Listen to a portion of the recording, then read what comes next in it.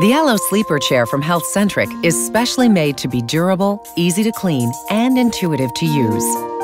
The Aloe Sleeper Chair has far fewer moving parts than other sleepers, and so has fewer places for dirt and germs to hide. The simple yet durable spring controlled mechanism for reclining the chair means no regular maintenance is required. More importantly, its simple design has made it easy to use. Converting the Aloe Sleeper from a chair to a bed is effortless for anyone. Ensure the casters are in the locked position, then all it takes is a gentle pull on the handle located in the front kick plate. When it's time for the Aloe Sleeper to become a chair once again, simply pull up on the handle in between the cushions and unlock the casters for easy movement from room to room.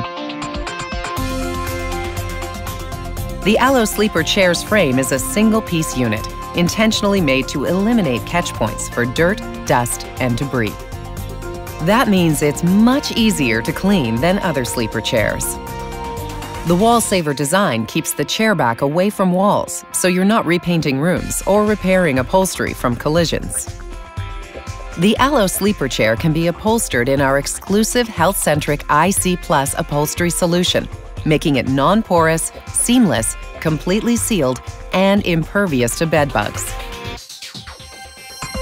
HealthCentric is so confident in IC Plus that they guarantee it will not crack, tear, or puncture for an amazing 10 years. This high-performance upholstery solution has no PVC or latex and is tough enough to cope with hospital-grade cleaners and disinfectants. The Aloe Sleeper Chair can be customized with IC Plus under-seat sealed seams for added moisture and contaminant protection.